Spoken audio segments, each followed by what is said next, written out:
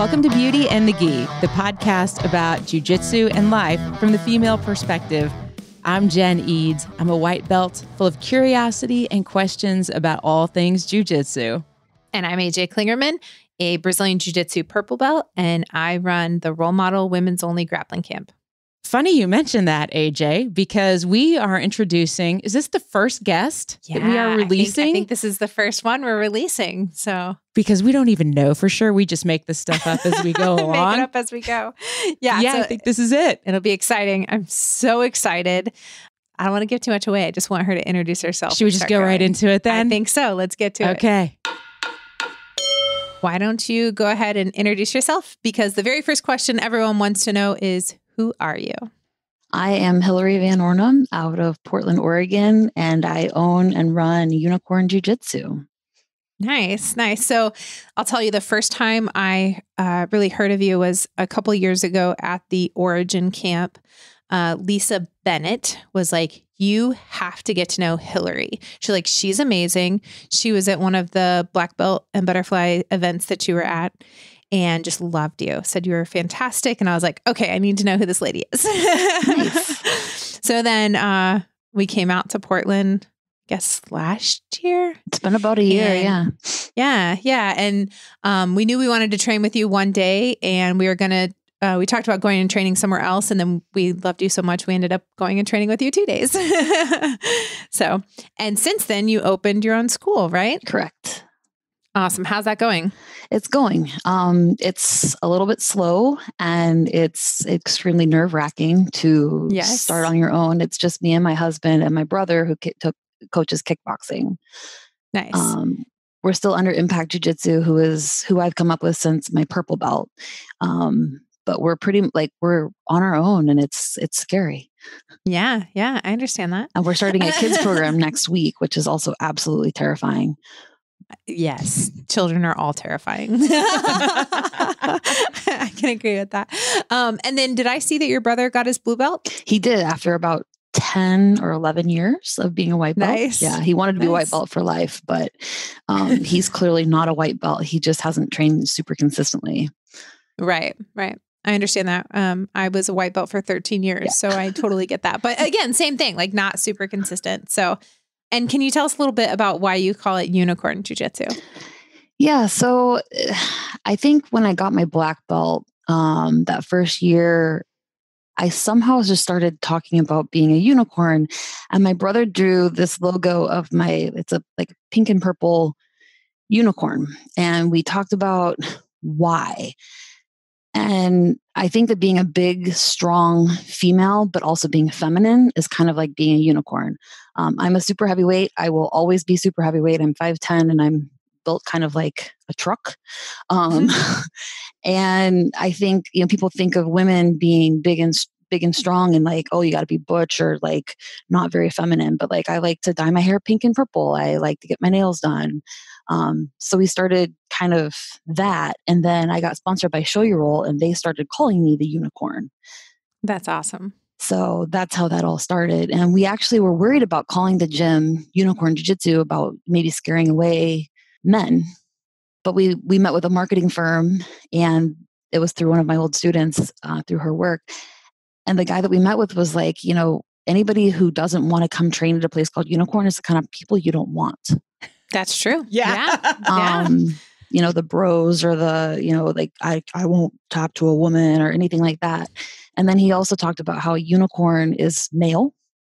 They have a phallic weapon on their head and are typically surrounded by like women. So, what's bad about being a unicorn if you're a dude? Right. I, yeah.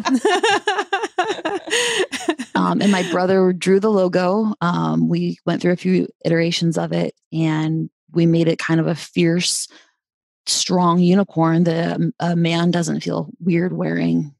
And we're also going to design maybe some kids ones that are more cute. Uh, but yeah. So nice. And I, I have both your patch from your school, uh, the more fierce one, and I have the pink and purple Mhm. one. I have the pink and purple one already on my gi, so awesome. I like it a lot. um, so tell us about how you got started in jujitsu. It was actually my brother. Yeah. My brother for Christmas, we were living in DC um, around 2005. Our whole family was out there. We're kind of we moved around a lot as kids. Um, but we went to high school in Portland, Oregon.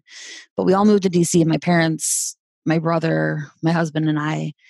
Um, and he had just graduated from college, wanted to get back into train. He had trained martial arts his whole life. He's done various. I can't even tell you what they're called because I don't know, but various different martial arts his whole life, and he wanted to train again. And we looked at gyms, and we found this gym that had this program called Combat Defense Systems. And it was in Herndon, Virginia. It's actually where Pedro Sauer is based out of now. Um, okay. He wasn't there at the time, but they did a different martial art every day. One day it was uh, Koshikan karate, one day it was jujitsu, one day it was judo, Krav Maga, Vale Tudo. And we wore gis, we wore these black katana gis. And at first I liked kickboxing best. And then I liked judo. And then at the end of a year, they, they, um, well, so how we how we started was my brother wanted to do that. I went and I was going to buy him a three month membership for Christmas. And when we went in there, I kind of looked around and I had been an athlete my whole life, but hadn't been doing anything in my 20s and looked around and was like, I think I want to try this too. So I signed us both up. Um, but we spent a year doing that and then they cut that program and focused on Krav Maga. But we had this awesome judo coach, Maurice Allen, who's in Alexandria, Virginia. So we went and trained with him full time. And then we moved back here to Portland and my brother was still in DC. So I was nervous about training without my brother. He was he's six right. five and about 280, but he was my main training partner. So I spent two years trying to run marathons and half marathons in Portland, which I'm not really Yuck. built for running. um, I'm built for carrying heavy things or something like that, but not running. Uh, but I did it, and yeah, I did like two two full marathons, probably about ten half marathons. But then my brother finally moved awesome. back here, and I had found Team Quest. And I was like, Team Quest is where I want to go. It's where these UFC fighters. And we went there for four years. And then he kind of stopped training. But that's our like, that's my like story. And when people ask me how long I've trained for, it's really hard to answer because the first year was like this program of multiple things. Second right. year was judo. And then from when we came back here, I think I did more kickboxing and MMA than jujitsu for the first year or two. Yeah. Do you uh, hold rank in judo? I'm a brown belt in judo. Nice. Very cool. Very cool. And then you also do yoga as well, right? I do. I got started back in yoga. So I tore my ACL my first year at Worlds at Black Belt. And it was really hard recovering from that.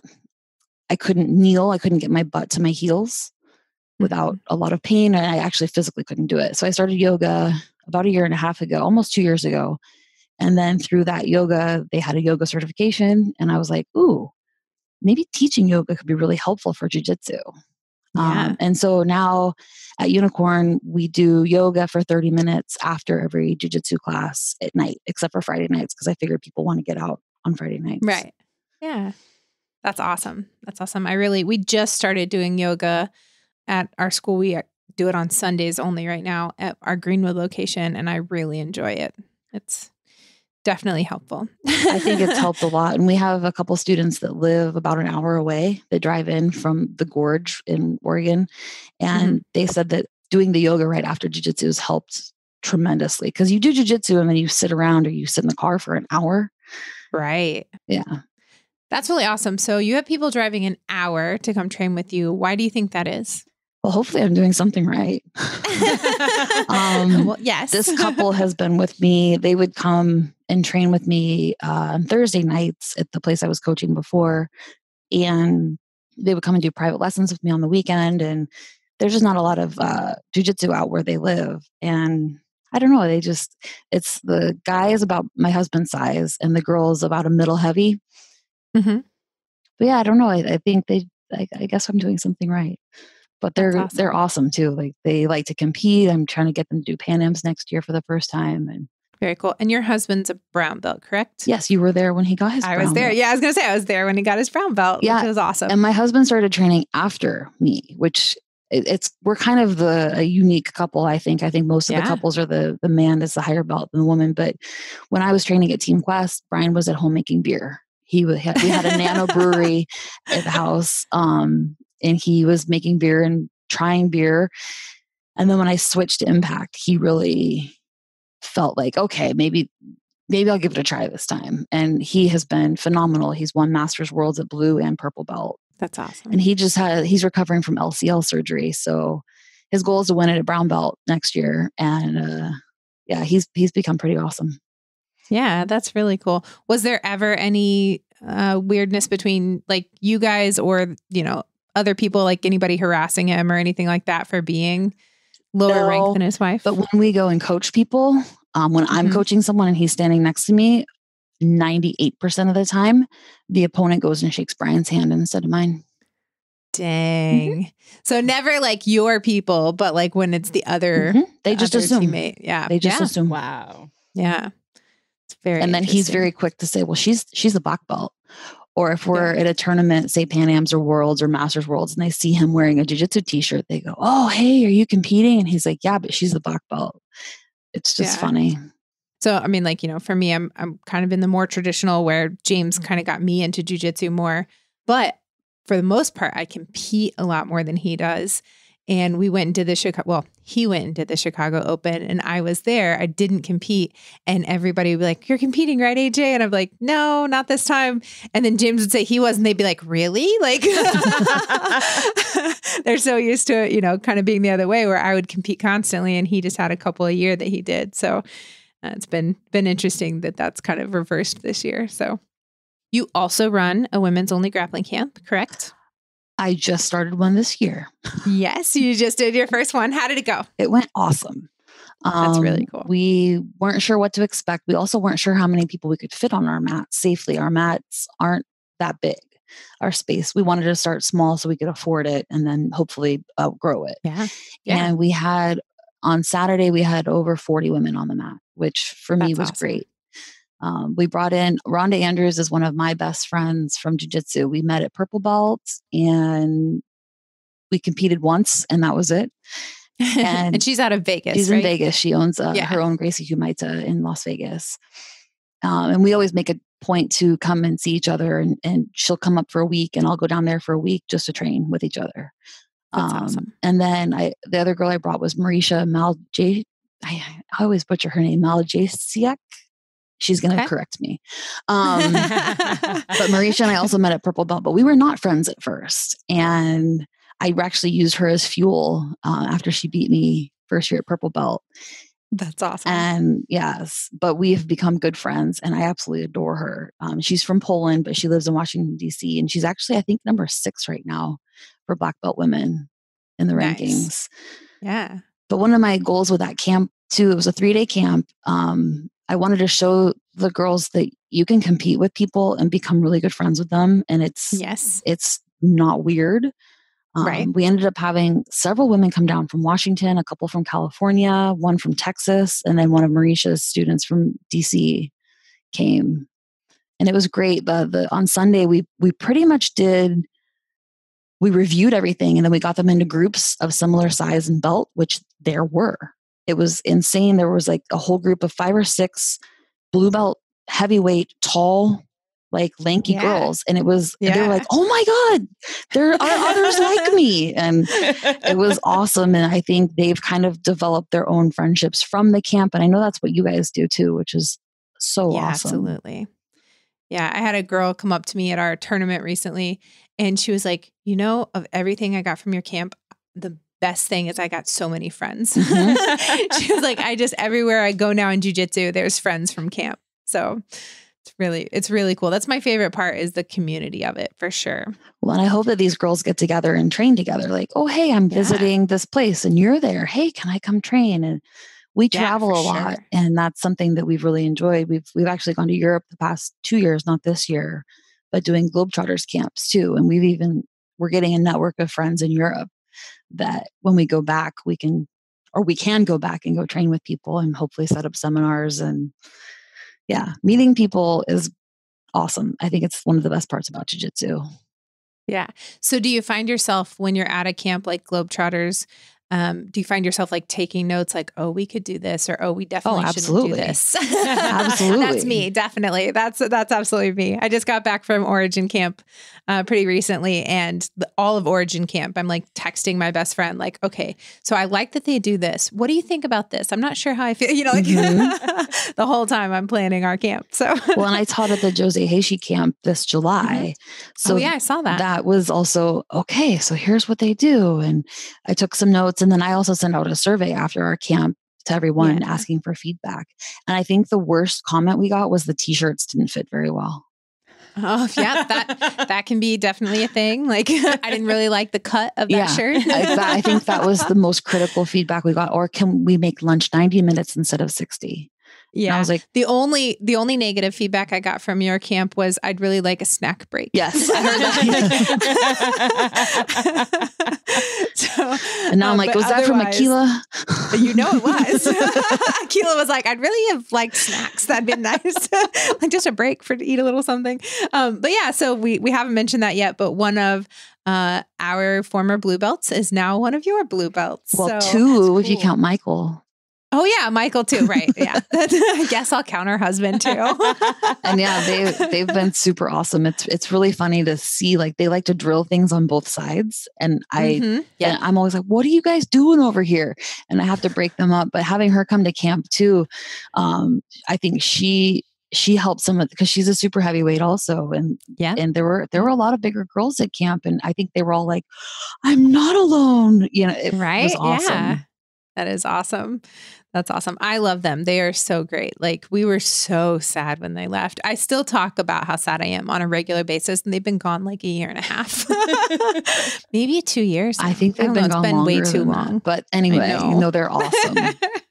yeah, I'm glad that they they're with you because I know it took them a while to get back into jujitsu, and you know it's one of those things where you had your home and you had your people, and so finding a new home is really hard. And um, I tried to get them to come with us when we were out there, um, just to you know kind of test you guys out and see. And I- I just they just weren't ready. They were so nervous about getting started, and then finally they made it to you, and they they love you guys. So it's been good. It's it's been great, and I think that's something else we've been doing is. I, I keep saying we're kind of becoming the home for the misfits or the misfit toys. we have Yeah. a lot. We have only a couple brand new students to jiu-jitsu. When we started, I had this whole curriculum for how to start beginners, and they've almost all been people from other gyms or that have moved here, had kids, taken a break, haven't trained for a while, or that have lived here and had kids and had a break and it's just Right. been funny or they just didn't fit in at the gym that they were at before and or yeah, a, that's a, a gym had like one girl has just come because her gym cut the jiu-jitsu program it's crazy. so it's i thought we were going to have to teach from square one but now we're having to go back and break some bad habits or go oh that's really good that you're doing that where'd you Yeah. where'd you start that and it's typically michael and akila that's good. That's good. Yeah, I um I always tell people, you know, like there's two schools of thought. There's like get the move down on one side, get it good, and then you can try it on the other. And then there's a school of thought of like practice even on both sides. And then I joke that I'm a Libra and I like all things in balance. so we like to practice everything on both sides. Um, but so that's interesting, like that that that's they they're still doing that. Yep. So it's good. well and i think that one one of my teaching philosophies and maybe this will help for you guys too is just because this works for me doesn't mean it's going to work for you. Yeah. and this is my way not the way. And if they it works better for them to learn it on both sides go for it. I need to learn it good on one side and then maybe work the other side. Right. Yeah, today um, I was actually teaching like cross chokes from Mount, and I hate a five finger cross choke. And I was like, I'm not good at it. My wrists don't want to do it. It sucks. But then everyone in the class got it better than the other two cross chokes. And I was like, see, that's why we teach things we're not good at. Yes. like just because I don't like it doesn't mean it won't work. and I was there, and I will say that was very good. Yeah. um, okay. So, what would you say is one of your favorite memories of jujitsu? Or maybe one of your favorite things that's come out of it that you didn't expect, something like that. that's hard to nail down one Mm. um i think overall just the the friendships uh, is my favorite thing like having like rhonda and i talk about everything life Um, Yeah. There's a few other girls that are like that. There's a girl in San Diego, Amy Przinski, who's a brown belt that is is just one of my best friends. And and we, we all girls we I've competed against. Amanda Hodson's another one, another brown belt in California, and then Marysia. And it's just having, I don't know, I have friends all over that those are my girls. And I wish we all Yeah. lived together. Um, That's awesome. But then another, I was, cause I was, I read some of the questions that people were thinking about having you guys ask. And Yeah. one of my, my other like favorite memories recent was when I came back from my knee surgery, I did Masters Worlds and I got double silver, but I was so proud of myself for that. That's um, awesome. I think in the finals of the open weight class, I was against Jenna Bishop and I was laughing because she was breaking my grips in her closed guard. And I just thought it was hilarious. And she's so good. Yeah, she um, is. And I, I was just, I don't know, I was, I was just happy to be out there and my knee held up and I had girls jump guard on me and it was okay. And so that was, That's awesome. yeah. That, that year was, and that year at Pan Am's, I also I did masters at Pan Am's, but I, I won my division and they got silver in the open and lost to Jenna again. But um, just compete coming back and competing after that was was really hard. But I did it, and yeah, Yeah, that's good. Get back into it. That's really good. So, not to give away anything for camp, but is there anything that you really just absolutely love to teach? bow and arrow, Ah, bow and nice. arrows, or any kind of pressure passing. I like a smash pass, uh, over under, anything using the pressure. And I think that's another thing that especially bigger girls have a hard time with is, well, I don't want to be heavy. And Right. I mean, when I Yeah. first started and when I was in, just doing judo, I had a, a girl, she was a black belt and she was trying to get, make the Olympic team. So she's high level, but she was probably like 150. And I specifically remember her saying, don't squish me on the ground. And I was like, well, what, what, what am I supposed to do? Just like let you do whatever you want. And this is judo. So they're, you know, we're pinning and we did Right, a lot of yeah. groundwork, but it just, it, I still remember it and it hurt. And I don't ever want anybody to feel like that. right. So yeah, don't, don't squish me. I still get paranoid too. I'm like, I don't want to, you know. be too happy. Yeah. Well, and I, s- Eh I still do that too. And I, and I, I'm trying to learn to, to practice what I preach, but it's hard. Right. It's hard. It's really hard for all women at all sizes. I mean, really, like Mhm. women don't want to be heavy. They don't want to be even told that they're heavy or, you know. Um, I was doing privates with this lady and she was like 64, but she was in decent shape, you know. Um, but I mounted her at the lightest mount ever and she was like, Oh my God, you're so heavy. And I was like, Girl, you ain't seen nothing yet. I was like, You just wait a minute. Like once we get into this a little further, I'll show you what actual pressure feels like. like I'm being nice now but that's something that I try and, you know, break the girls of. Like, it's okay to be heavy. It's okay to smash. Like, you want that now, you know. And we don't want to. I, I want to get women out of apologizing. Yes. even though I still do We don't too. sorry here. Yep. That's what I tell all my girls. We don't sorry here. Well, and it, that's really good. it's I met I, I I've done some yoga other yoga stuff and there's this woman Jessamyn I don't even know Jessamyn's last name she's a very she's a bigger black woman who has been on the cover of Yoga Journal and she came here and did a like 2 hour talk about just her experience in the yoga world and how you know being a woman of color and being of size was like a taboo and how hard it was and in her yoga teacher training she talked about they were doing like partner yoga and she kept apologizing to her partner and her partner was like it's okay like you don't have to apologize and she just she said you know i, I just said I'm, i guess i'm just sorry for existing Aw. and i think that's a very common thing among women yeah. us eh, you know so i think that's something and, and then I, I asked her a question about how did she handle that um, and i told her about jujitsu and how you know how do you, how would you teach someone to not apologize and it was it's like she looked into my soul and she said well first you have to like you have to own it and deal with your shit first and then Right. and i was like oh Yeah. my god so that's something i'm still working on and i'm trying to help other people with Yeah. So one of my other best friends moved out to Portland, and we've talked about her a little bit. Mhm. Uh, you and I have, but she's uh, very proficient at saying sorry a lot. and so we've started to try and get her to say thank you instead of I'm sorry. So, you know, like instead of I'm sorry I'm late, you know, thank you for waiting on me. Thank you for your patience, you know, things of that nature. And we kind of turn it into a joke, but just just to kind of help break her of that. So like if she runs into me, she'll be like, "Oh, I'm sorry." And I'm just like, "You're welcome for getting to touch me." You know? Mhm. so, but we're just trying to like break that because I do think that apologizing leads to a lot of anxiety as well. Like it makes, you know, you just have that feeling of you've done something wrong and yeah, so it goes really deep. Yeah, well, and self talk is something I'm also still working on. I work a lot Yeah. with um, James Foster, who's up in Seattle, but he's kind of become my mentor and big brother, and he's he's won Masters Worlds the past two years in a row at black belt at ultra heavyweight, Awesome. and he makes me do mental training. And there's a bunch of books, and I need to put this list together for my students, but Yeah, audiobooks to listen to, and and changing your self talk and you know, he called me out on I my most recent competition was against Gabby Garcia in Fight to Win, and it Yeah. went horribly. And he, after the fact, said that I said something in the locker room or the warm up area before that he was not happy with. I Mm. had some indecision and some like somebody asked me, "Well, what are you going to do to her?" And I probably should have just not even answered it, but I hesitated, and he was like worried about it. And Yeah. yeah, so self talk.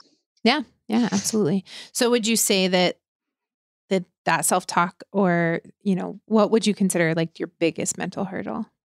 believing I belong out there with the with the the the top black belt women. Yeah. That's been um yeah, I mean be, going against Gabby has been something I've wanted to do since I was a blue belt.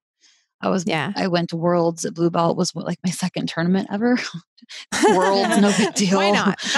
Um, and I saw her and I was just like, "Oh my god, like wow." And Yeah. she won everything. And yeah, getting the call, like Seth called me and said, well, not called, te- emailed me, offered me it. And it was right as we were opening the gym. I was like, yeah. and right after Brian had surgery. And I was like, this is terrible timing. But but I, I felt like I had to do it when when, when I get that opportunity again. right. So, but afterwards, I questioned, like, did I belong out there? My first tournament at Black Belt was Pan Am's. And I was terrified. My first match was Luiza Monteiro. And I was like, oh my God, she's one of the best in the world. But my coach said, I've rolled against her and I've rolled against you. You're a harder roll. And I went out there and I beat her by That's one awesome. advantage. Wow. So it's not like, Hey, no, that's still that's yeah, that's Um, awesome. so I think, yeah, I, just believing I belong out there. It's, it's, I'm still working on that. And I've gone against some of the best in the world and eh, they've pretty much beaten me, but, uh, That I mean, but you you're out there, you're putting it on the line, Yeah. you're leading from the front. And I think what you do is more than just the competing, right? It's it's really helping to build the the women especially um, in the community and you know just jujitsu in general. Like you've done a lot for the jujitsu community, and that goes far beyond competition. well, I'm trying to get more people out there competing too. And that's one reason yeah, no, I'm I, yeah, absolutely. I, I'm I'm toying with still going back to adult. I'm masters three now. I'm 41, and um, right behind you. you know, I did I did do adult Pan Am's last year. I did not do worlds because I had the fight to win in the gym. Yeah. But I'm toying. Like we'll see where we're at. But I'm I'm haven't given up hope on adults still, just to show that we can do it. Yeah. Yeah. Something I thought was really interesting uh, the Master One female black belts, almost every division winner at Masters Worlds this year was also the division winners from the adult female Mhm. black belts. They're like, so those young girls are, they, they better bring it because the Masters ladies are. So I think that's really cool. Is there something that you wish you would have known, um, like when you started jujitsu, uh, or like something that you would tell your white belt self? Maybe something to the effect of that black belt is possible. When I Yeah. first started, I didn't. I think when I saw Gabby was the first time I also saw other female black belts. I didn't know they existed. I mean, I knew they existed, but I'd never seen one in person. Right. right. and I think that also goes back to the unicorn thing is, you know, a female black belt, what used to be like being a unicorn, but also that at black belt, you're not going to know everything. I thought Yeah. that, oh, you get your black belt and you're going to be amazing at every single thing and you'll know everything. And I mean, I still don't understand lapel guard.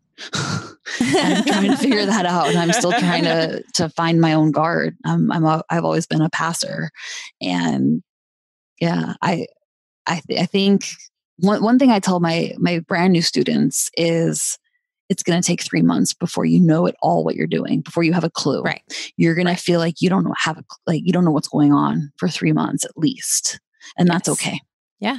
And i think i would have told my white belt self to try to compete because i didn't Yeah. compete till i was a blue belt i thought i needed to be more ready i needed Yeah, to know more yeah. Yep. but I also had the problem I couldn't compete locally. The there were only two other girls that were ever the same belt for a long time and they wouldn't come up and wait. So it was hard to compete. right. Right. but I would have maybe tried to do more. Yeah, it is nice now that you know there are so many more women in jujitsu. It does it definitely gives more more opportunities for the women to get to compete at all belt levels. You know, so it's good. Okay, so typically we offer um, some sort of on the mat tip or off the mat tip. Well, technically both, but do you have any tips that you would like to share with the listeners? I think try yoga. I mean, that's my current thing. Um, you can even, I mean, there's the yoga for jujitsu, or I don't, is that the name of it?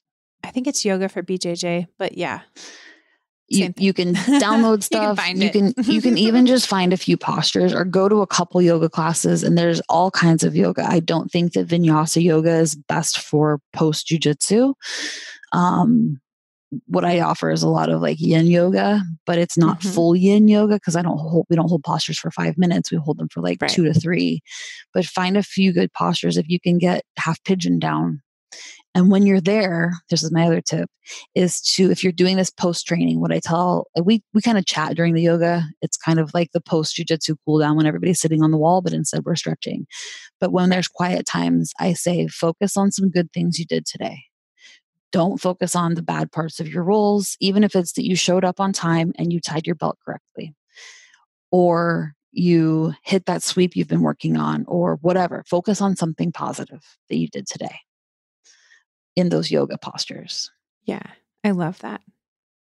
Do you have maybe, you know, two or three postures that you would recommend people doing after practice? Half pigeon, Okay. um, sphinx pose, which is where you're on your belly and your elbows are underneath your shoulders and you're stacked and you're letting your lower back relax. In jiu-jitsu, we're so crunched up that's going to extend Mhm. your hip flexors, let your lower back extend and relax.